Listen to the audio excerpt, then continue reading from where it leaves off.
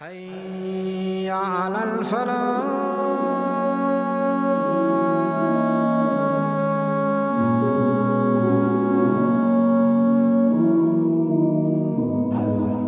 We've mentioned this hadith of Ubay ibn Ka'b, where the Prophet asks him, What is the greatest verse? And he says, It is Ayat al Kursi, Allahu la ilaha illa huwa al hayyul qayyum. Here are five quick statements that our scholars initially, in the virtue of Ayat al Kursi, they highlight. They say, First, the Prophet himself described it as the greatest ayah in the Quran. Second, the Prophet ﷺ tells us, as we will study shortly, that in this ayah is Allah's greatest name. The name that when He is invoked with, supplicated to by, He answers the request of the one who asks. It is the greatest protection from the shaitan given to us by Rasulullah sallallahu alaihi wasallam. The Prophet said, number four, the one who recites it after every prayer, the only thing keeping him out of Jannah is that he's still alive. The moment you pass away, your soul enters Jannah. And the moment the day of judgment comes, your body and soul enter Jannah. By the promise of Rasulullah sallallahu alayhi wasallam. Number five, the Prophet ﷺ said, the one who recites it after his prayer, Allah remains a guardian for him and sends guardians to protect him until the next salah. You are in a state of completeness, fortification from harm. Now, I want you to understand that Ayat al Kursi, there is no verse in the Quran, there is no section of letters that were formulated and revealed unto humanity that are greater than these words.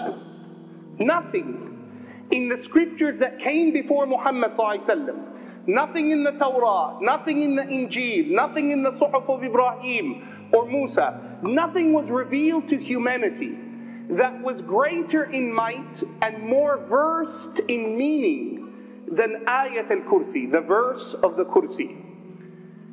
The Prophet Muhammad says, as is narrated by Imam al-Nasa'i, I was granted a gift from the treasures of the throne of Allah. Ayat al-Kursi was sent down to me, sallallahu alayhi wasallam.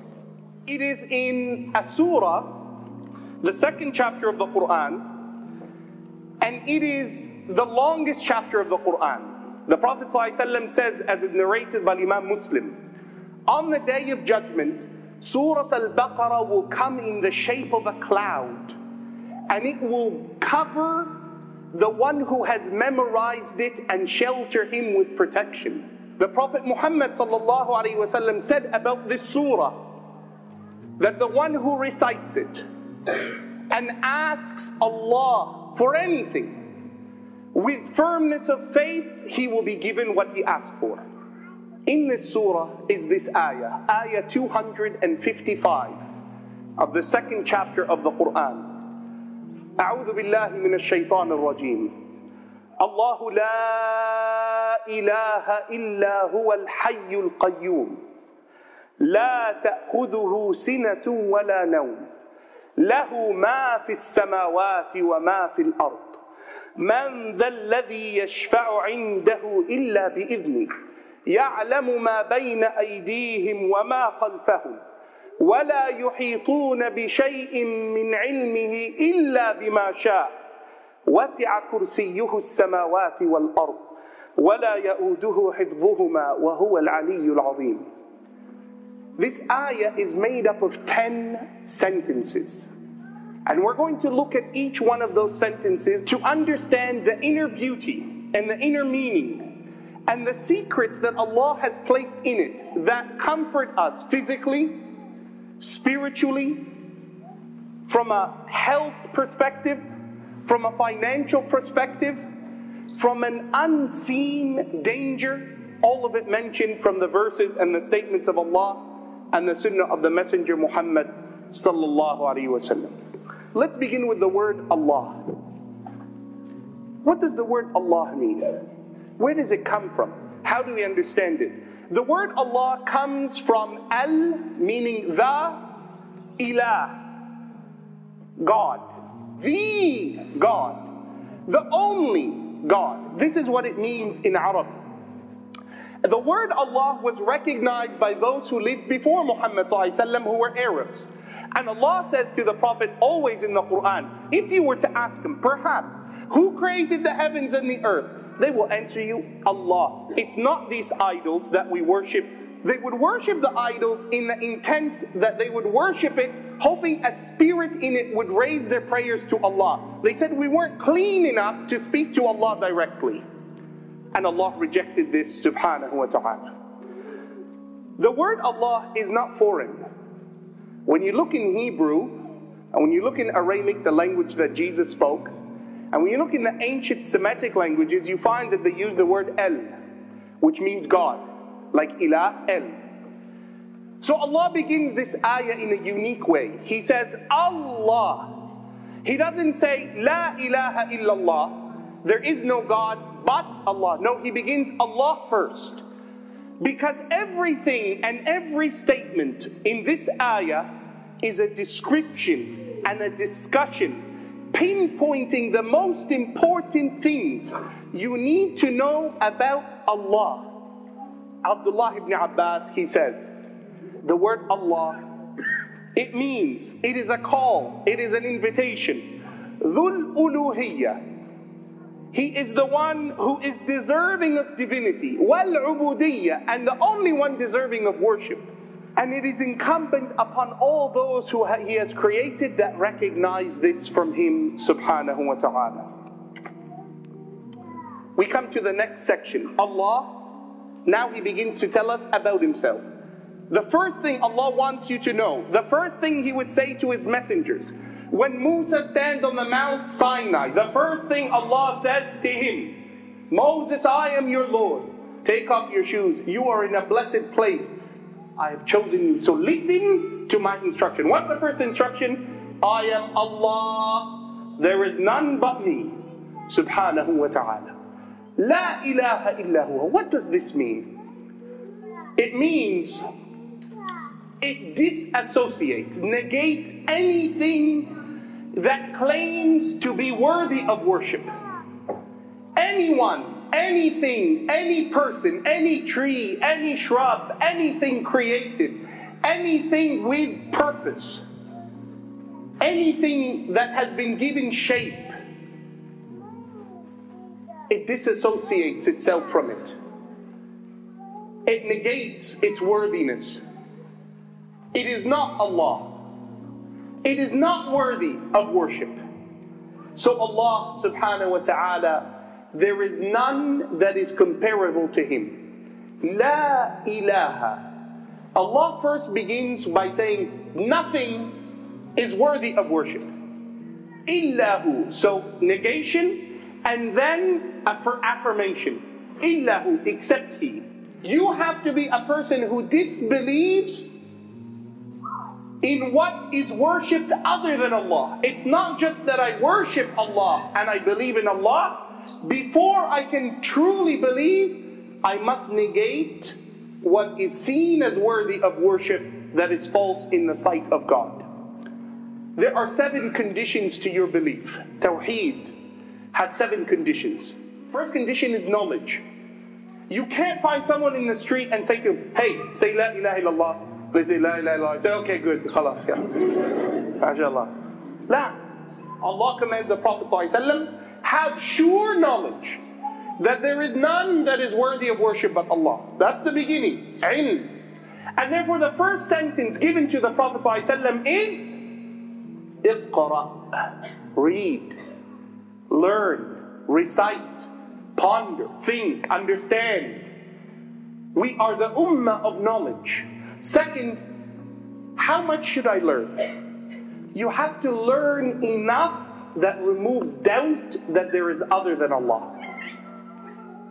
Anything that remains within you of doubt, it is your duty to go ask others until you get its solution and find the answer to your question.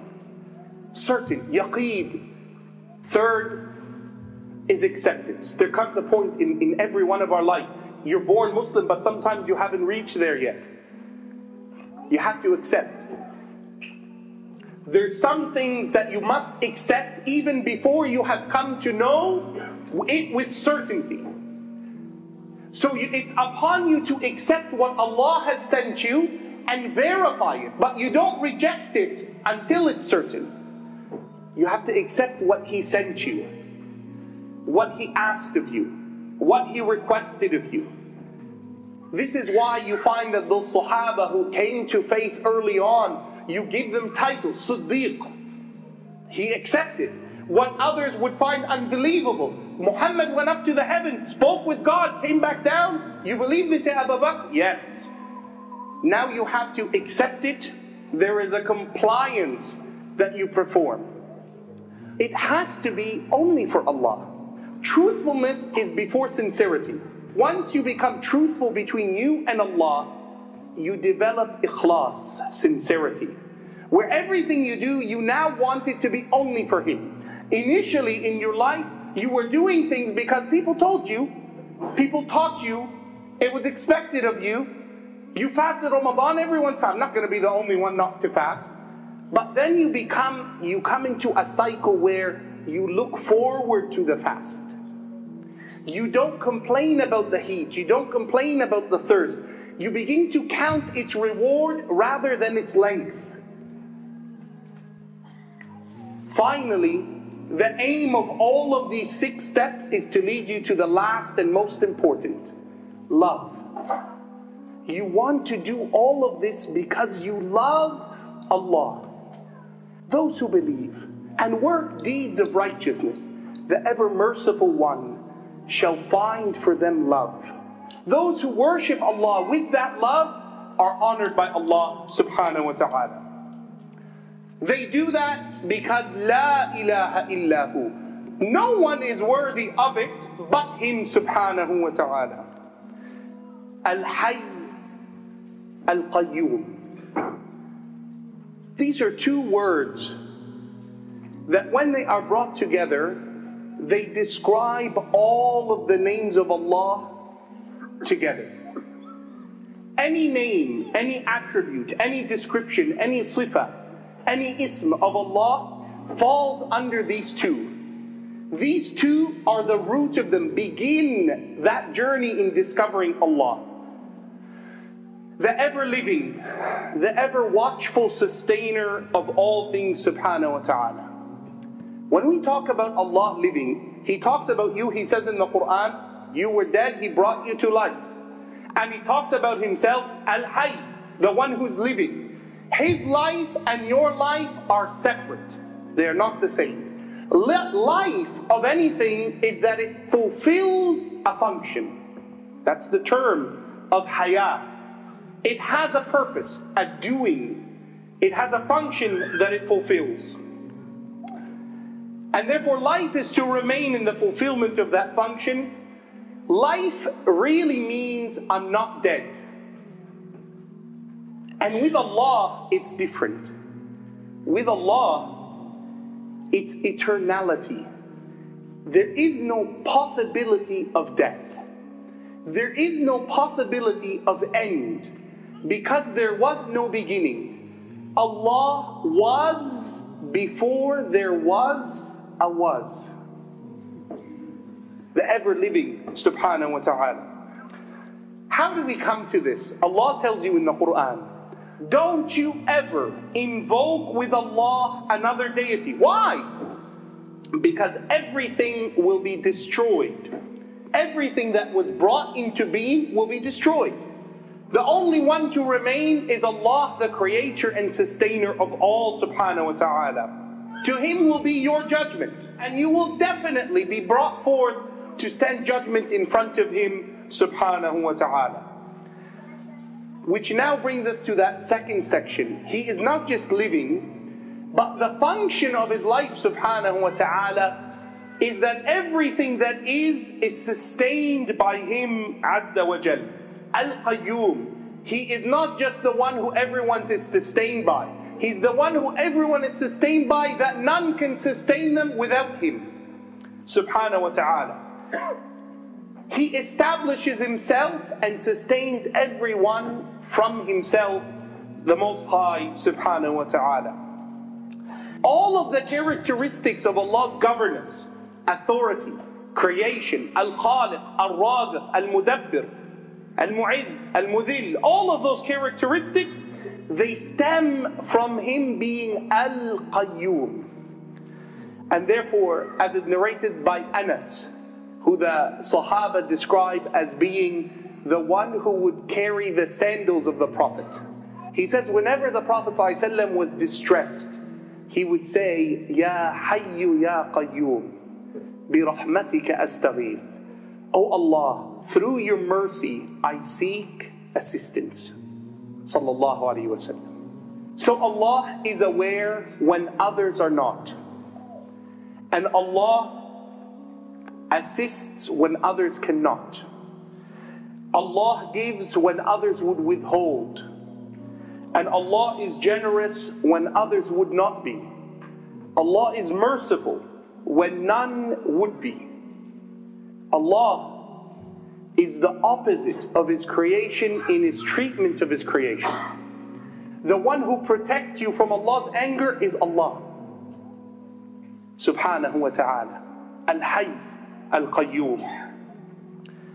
The creation is maintained because of His order. And therefore, the next statement, after Allah says, I'm the one who maintains everything, I'm the one who is ever living, He gives you an example. لا تأخذه سنة ولا نوم. Neither slumber nor sleep overtakes Him. It's in a way that it's not that Allah is saying He doesn't sleep although He's tired because He's busy. Allah doesn't even get tired. لا تأخذه سنة ولا نوم. Allah is not overcome, it doesn't compete with Him with difficulty or deficiency. Not just that He chooses not to sleep, subhanahu wa ta'ala. He faces no hindrance in doing whatever He wishes. He can sustain anything in being without difficulty. Affirming this attribute of eternal sustainability of Allah and everlastingness and infinite independent nature of Allah. لا تأخذه سنة ولا نوم. Nothing ails him, nothing troubles him, nothing brings him to tiredness. له ما في السماوات وما في الأرض. This ayah or this statement in this ayah is repeated often in the Quran. To Allah alone is all that is in the heavens and the earth. Every dependent object belongs to Him subhanahu wa ta'ala, the one alone who is independent. They do not have any intrinsic power or strength in and of themselves.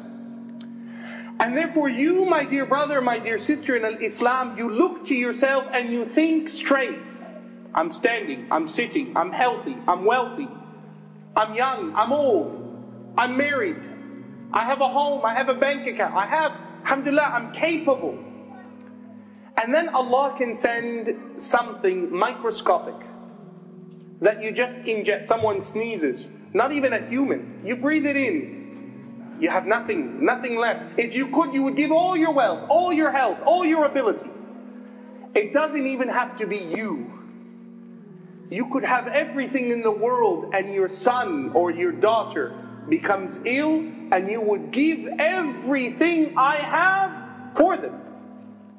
And Allah subhanahu wa ta'ala therefore says, Lahu, even you belong to Him. You are owned, and therefore the greatest title given to our Prophet ﷺ is that he is abd, a slave. One who recognizes his servitude to Allah. Every one of us is a slave to Allah. Some of us just don't know it.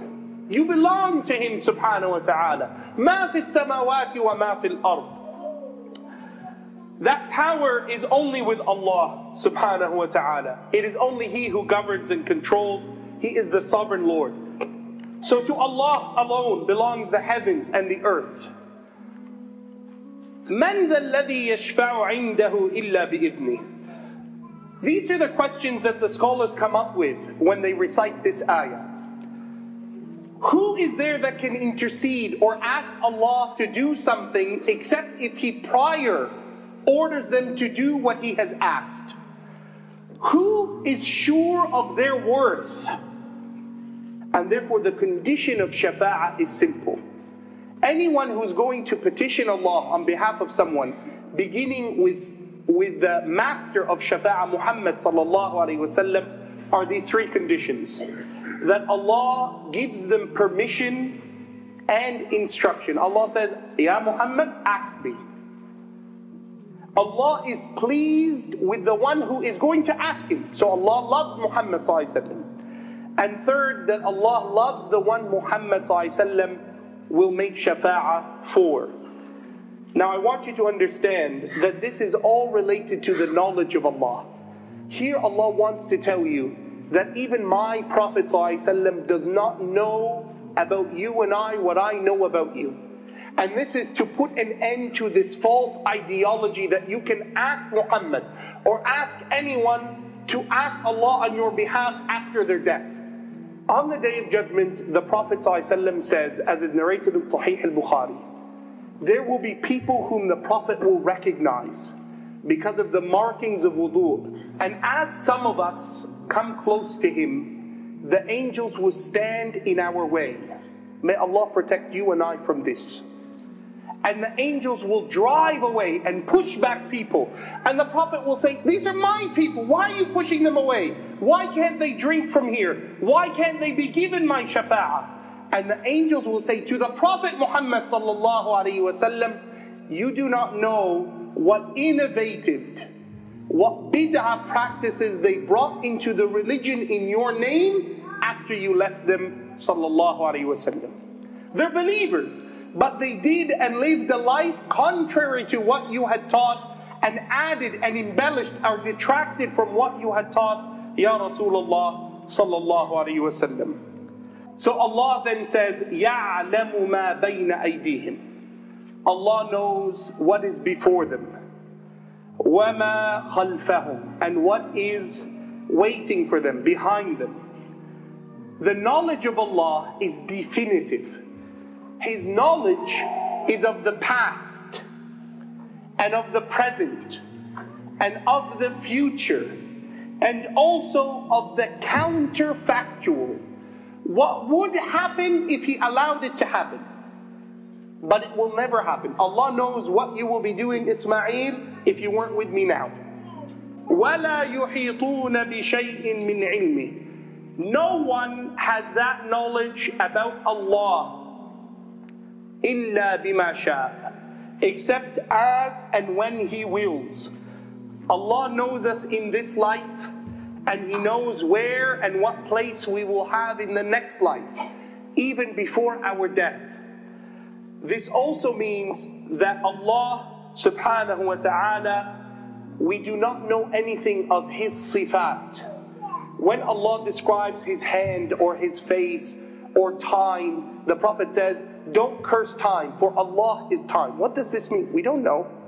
And we do not know of what Allah has in store of us.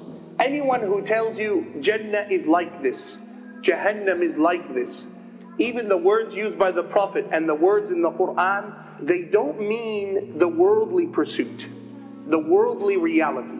The Prophet makes it very easy by saying, Jannah, paradise, no eye has seen it. وَلَا أُذُنٌ سَمِعَتْ No ear has heard it. And no human heart could ever comprehend or imagine it. Sallallahu alayhi wasallam. وَسِعَ كُرْسِيُّهُ the kursi of Allah, notice I haven't translated it. And this is proper. The kursi of Allah extends over the heavens and the earth. This is the only authentic hadith that speaks about the kursi. Allah says the seven heavens and the seven earths are by the side of Al Kursi, and they are nothing except like a ring that you throw out into the desert land in comparison to the arsh of Allah. And the arsh of Allah forms the ceiling of Jannah.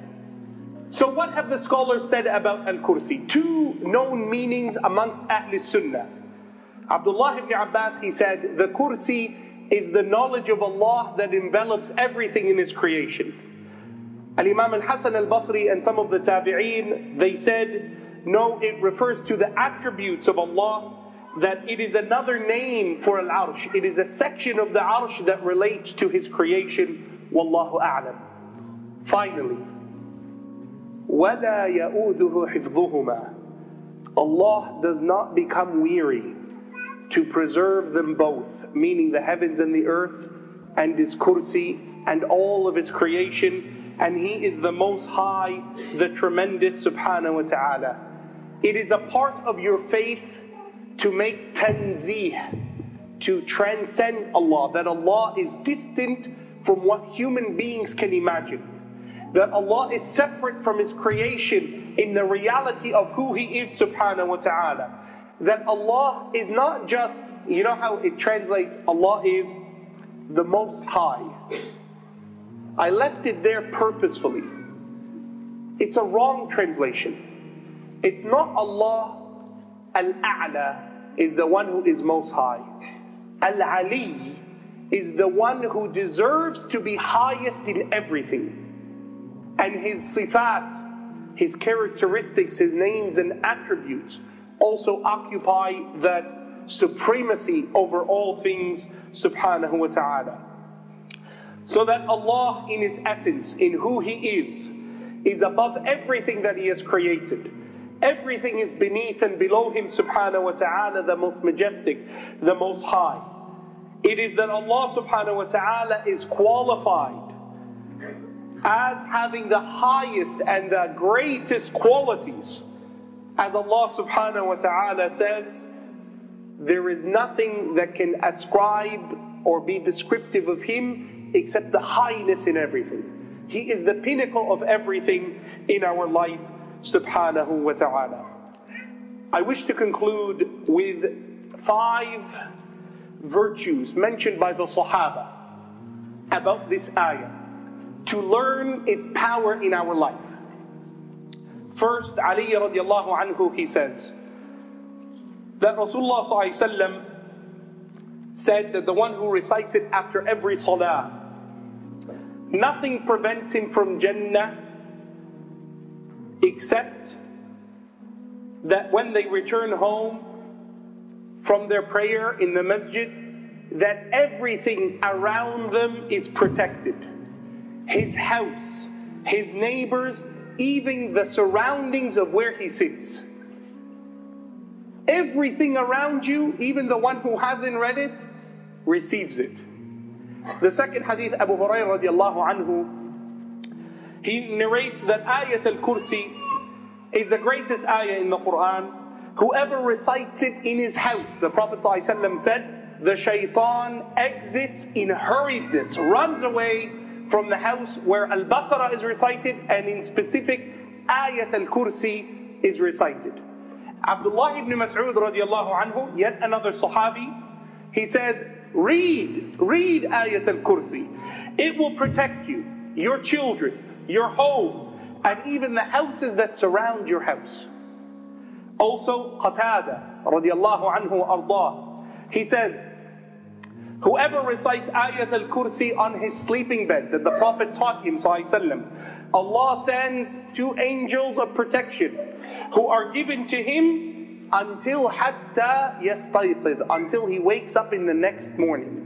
Final hadith of Ali radiallahu anhu, he said, I cannot understand how a person who is a Muslim and an owner of aql has reason, has learned, is able to think, can spend the night without reading Ayat al Kursi upon himself.